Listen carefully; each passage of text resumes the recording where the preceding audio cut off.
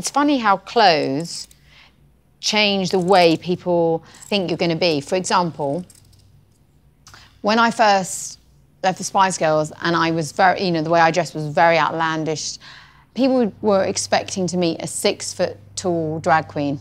You know, like RuPaul. That's what they thought that, that who was going to come. And suddenly they'd meet this like little old lady type, "Mm, hello. they like, what?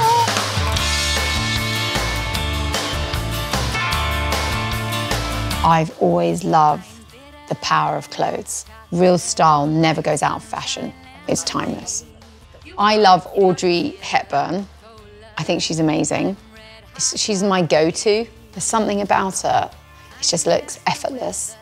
And so I thought, oh, let's try and make an Audrey Hepburn dress.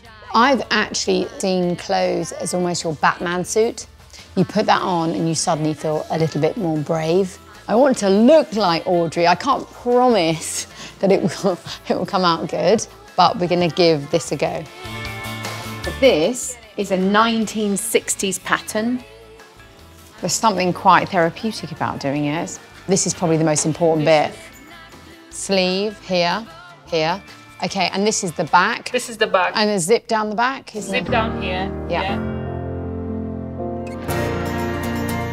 Have you ever cut something and gone, oops? Yeah. I had that oops moment when I was cutting Bluebell's hair, right? And I sneezed, and she had beautiful long hair, and I went, and it just went up like that. I was like, oh my God.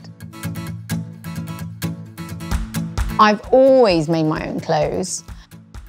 The first time we were on television, I wore an outfit that I'd made myself. I wore this tie-dye kind of flares vest outfit, it's very stretchy and giving. But I sew, my sewing is a little bit wobbly. And I remember as I'm performing, it's slightly coming apart the sides. I'm like, oh.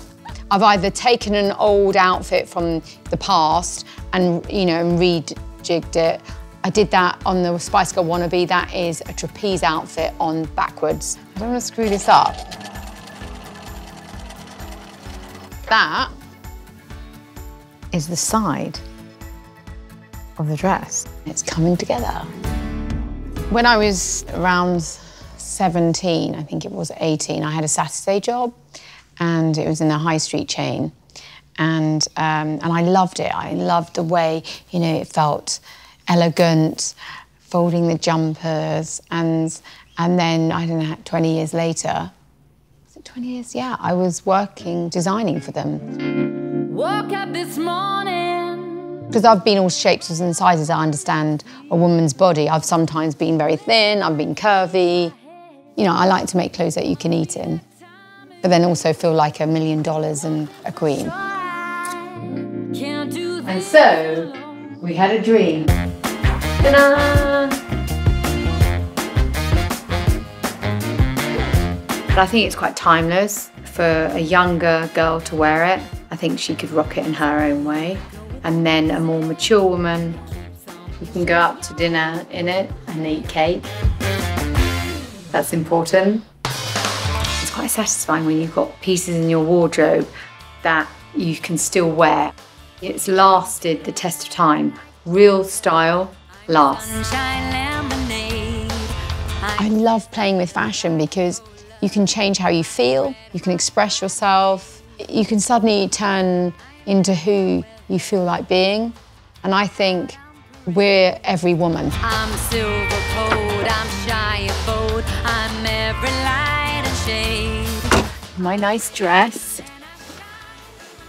Ready to go, ready to impress. It feels like it was mine already. That's when you know it's the right fit.